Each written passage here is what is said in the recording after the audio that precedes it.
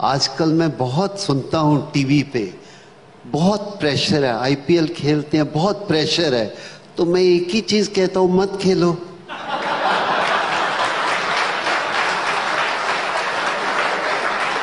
You know ये pressure क्या होता है? खिलाड़ी को फ़र्स्ट थिंग आपको पैशन है तो प्रेशर नहीं होना चाहिए। एंड ये वर्ड अमेरिकन वर्ड आ जाते हैं ना, ये प्रेशर है डिप्रेशन है।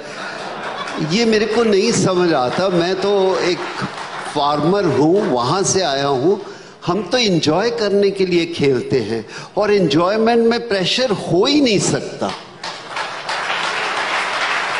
एंड आई कैन अंडरस्टैंड ये इन बच्चों को भी बोलते हैं जो पढ़ाई कर रहे हैं, इनको भी आई वेंट टू दिस एक स्कूल में गया तो वो बच्चे